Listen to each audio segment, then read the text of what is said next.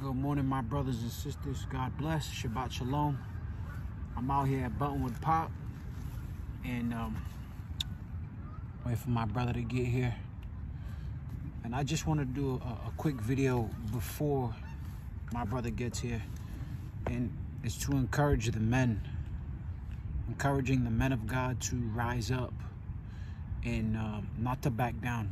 No matter how much the enemy comes at you, no matter how bad he attacks, is to rise up beyond that and just to, to stand firm on the word and what God says because right now there's a lot of uh, attacks going on in the household with the men, the wives attacking the men, the children not listening, disobedience, and it's to rise above all that.